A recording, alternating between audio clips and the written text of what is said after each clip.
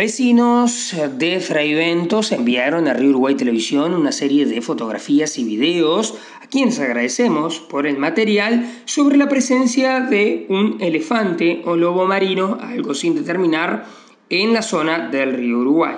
Tras mostrar estos videos al biólogo Juan Villalba, él mismo confirmó que se trata de un elefante marino. No es una eh, algo excepcional porque ya hay registros anteriores este, hace dos años y medio, tres años, apareció uno en, el río Negro, que, frente a la ciudad de Mercedes, que luego cruzó y apareció en Gualeguaychú y ahí este, eh, también fue rescatado y lo trasladaron.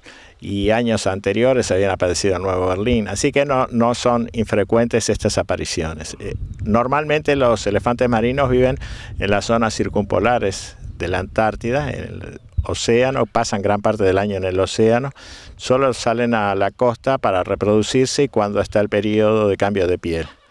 Este, son animales de un gran porte, un macho adulto puede medir 6 metros y pesar 5 toneladas. Las hembras son mucho más pequeñas, este, miden eh, unos 3 metros y pesan 900 eh, kilos aproximadamente. ¿no?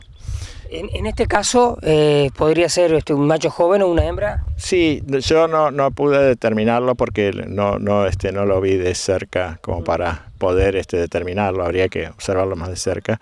Puede ser, sí, un juvenil o, una hembra que está eh, desplazándose, este, remontan los ríos. No se sabe muy bien las razones, pero en otros partes del continente también se ha observado esta, este comportamiento extraño. Probablemente vuelva a su zona habitual. Si no lo molestan, este, seguramente va a volver al océano y retornará a las aguas frías del sur. ¿no? La recomendación es dejarlo. Sí, si no lo molestan no, no es agresivo. ¿no? El tema es seguro, si lo molestan este, puede tratar de morder, pero es un animal que no, no, no tiene una una agresividad, además es bastante torpe en sus desplazamientos en tierra, ¿no?